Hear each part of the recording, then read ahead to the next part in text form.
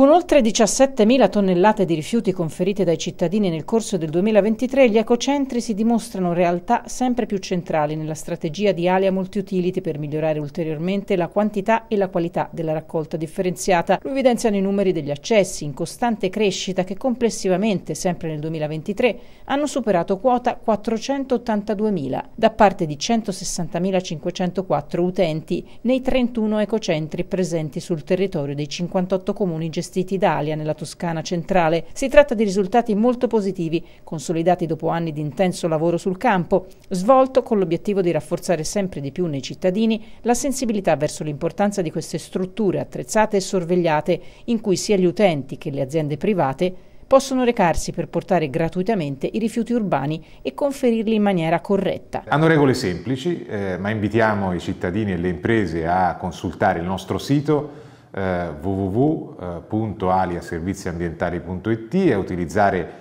eh, l'app di Alia, eh, scaricabile da tutte le eh, librerie elettroniche, eh, per consultare le regole e gli orari di apertura. 31 eh, ecocentri su cui noi continueremo ad investire per aumentarne il numero, ampliarne la disponibilità eh, e soprattutto sono, eh, un, è un servizio gratuito. Eh, invitiamo per questo cittadini ed imprese ad utilizzare i nostri ecocentri per il conferimento dei propri rifiuti. I vantaggi legati agli ecocentri riguardano sia i singoli utenti che la collettività nel suo insieme, perché accedendo alle strutture che si trovano nel proprio comune di residenza o in un territorio limitrofo è possibile contribuire concretamente all'avvio e al recupero dei beni durevoli utilizzati nelle abitazioni e al corretto smaltimento dei rifiuti urbani pericolosi come vernici, acidi, fitofarmaci e altri prodotti chimici di provenienza domestica. L'impegno dei cittadini è premiato con riduzioni della parte variabile della tariffa rifiuti proporzionata ai conferimenti stessi, in ottemperanza ai diversi regolamenti